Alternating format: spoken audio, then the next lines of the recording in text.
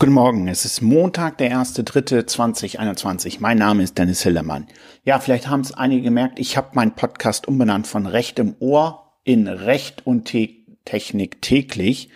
Das soll dazu dienen, dass jetzt wirklich täglich ein kurzes Update zu Technologiethemen und Recht kommt. Manche Podcasts werden vielleicht nur fünf Minuten dauern, andere vielleicht ein kleines Stück länger, aber dafür jetzt wieder täglich kurze Updates, weil so viel los ist. Wir fangen heute am 1.3. mit dem Thema an, dass die Bundesregierung nach einer Meldung von BTC Echo die Kryptoanonymität einschränken will. Und zwar soll das Geldwäschegesetz nach einem geplanten Gesetzesentwurf geändert werden, sodass zukünftig Kryptozahlungen ab 1000 Euro offenzulegen sind. Wie sich das nachher in der Praxis auswirkt, muss man dann sehen. Der Hintergrund ist natürlich, dass die Bundesregierung sagt, dass Kryptozahlungen dazu dienen, Geldwäsche durchzuführen und Terrorismus zu finanzieren. Das ist ein altes Thema. Viele wahre Krypto-Enthusiasten lehnen natürlich eine solche Behauptung der Bundesregierung strikt ab und sagen, dafür gibt es keine Nachweise. Das sehe ich persönlich anders. Es liegt auf der Hand, dass Kryptowährungen, insbesondere solche, die auf besondere Anonymität ausgerichtet sind, Bitcoin ist ja pseudonym, dagegen sind andere Kryptowährungen wie Zcash oder Monero schon stark auf Anonymität ausgerichtet. Dass solche Kryptowährungen dazu genutzt werden können, um Geldwäsche oder Terrorismusfinanzierung durchzuführen, das sollte entsprechend durchaus im Bereich des Plausiblen liegen.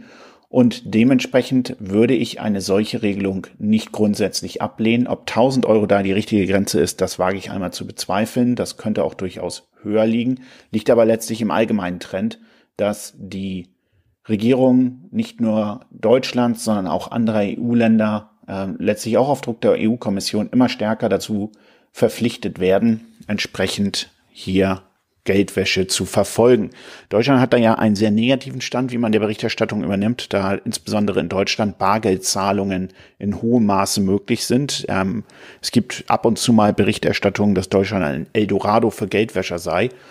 Da können sich jetzt natürlich die Krypto-Enthusiasten fragen, warum geht's denn gerade uns an den Kragen, dass wir hier zukünftig 1000 Euro, ab 1000 Euro schon unsere Kryptotransaktion offenlegen müssen. Das widerspricht gerade dem Gedanken der Blockchain. Man kann sicherlich dort verschiedener Meinung sein und es bleibt auch noch abzuwarten, ob es tatsächlich so kommt. Aber das ist jetzt erst einmal der Plan der Bundesregierung und ich bin gespannt, ob er in der Praxis letztlich eine Umsetzung erfährt. Dann möchte ich kurz auf einen Bericht der New York Times vom Wochenende eingehen, den ich ganz spannend fand.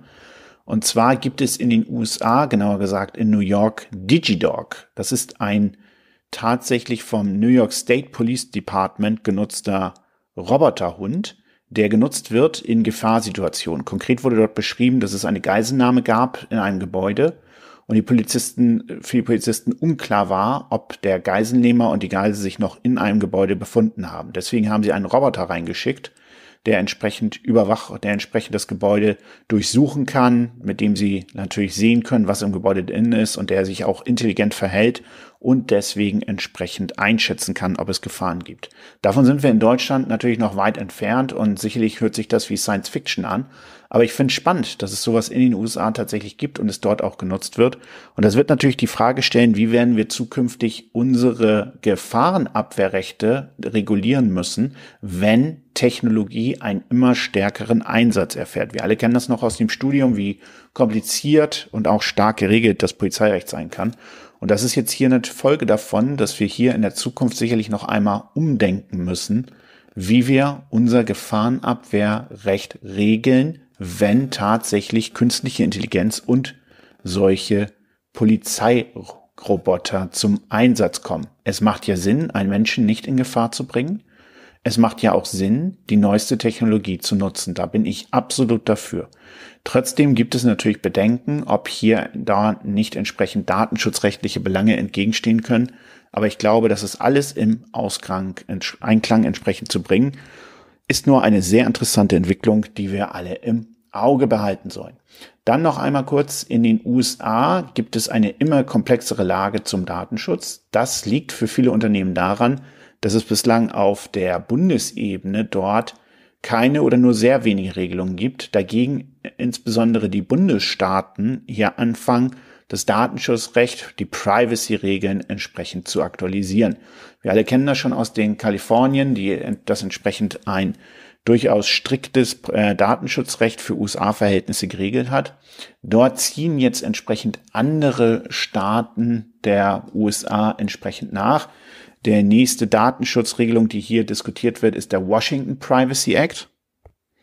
Ja, also auch der Bundesstaat Washington möchte seinen Datenschutz regeln. Und hier geht es vor allem immer um eine entscheidende Frage und das ist das Recht der Verbraucher.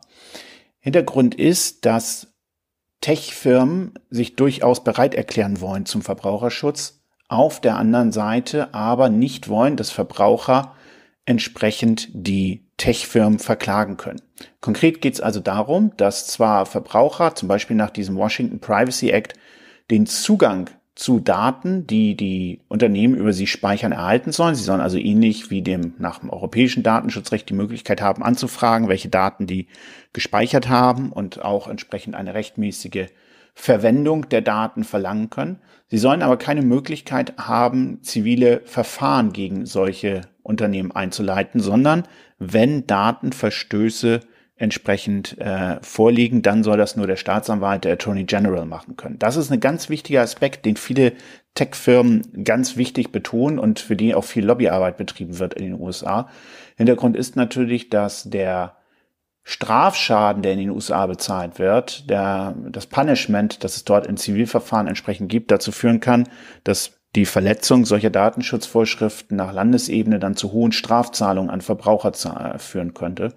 Und das wollen Unternehmen verhindern, indem sie darauf bestehen, dass nur der General Attorney letztlich hier die Möglichkeit haben sollte, dann die Unternehmen in Anspruch zu nehmen. Spannendes äh, Feld, wie ich finde. Ähm, und es gibt aber vor allem eben auch Bestrebungen der Unternehmen, dass hier Klarheit, Klarheit auf Bundesebene äh, geschaffen wird. Hintergrund ist nämlich, dass zuletzt Maryland ein sehr äh, striktes ähm, Gesetz verabschiedet hat, ähm, und dort insbesondere die Möglichkeit besteht, dass auch Verbraucher die Unternehmen entsprechend verklagen können. Also von daher ganz spannendes Thema. Letztes Thema, darüber hat die LTO berichtet, ist, dass nun äh, auch die, der Medienstaatsvertrag geändert wurde.